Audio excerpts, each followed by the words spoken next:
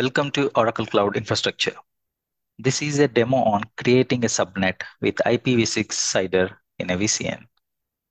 First, you need to create a VCN with IPv6 prefix in the region of your choice. Please check the video description for the video link. Log in to the OCI console. Open the navigation menu and click Networking.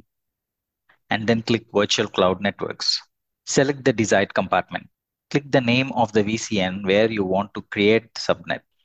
Click Create Subnet. Enter the name of the subnet. For creating subnet, ensure that the correct compartment is selected. For subnet type, you can select regional or availability domain specific. Recommendation is to use regional. Under CIDR blocks and prefixes, click on the IP type drop-down and select IPv4 CIDR block. Enter a single contiguous CIDR block for the subnet.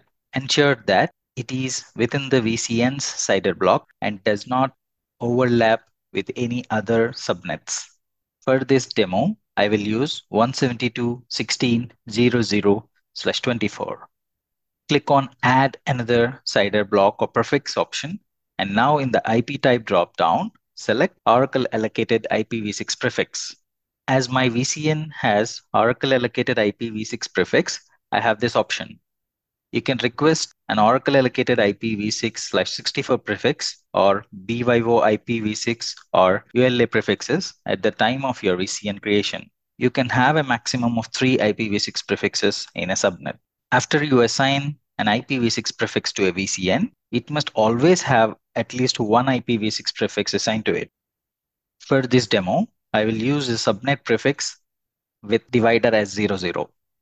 Note that this field accepts two hexadecimal characters with range 00 and FF.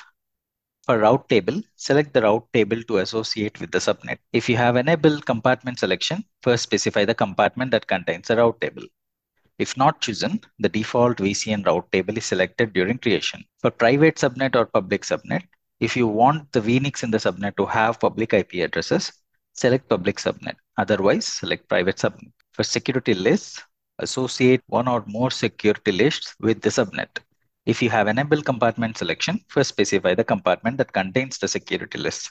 If not chosen, the default VCN security list is selected during creation. Optionally, add tags to organize your resources.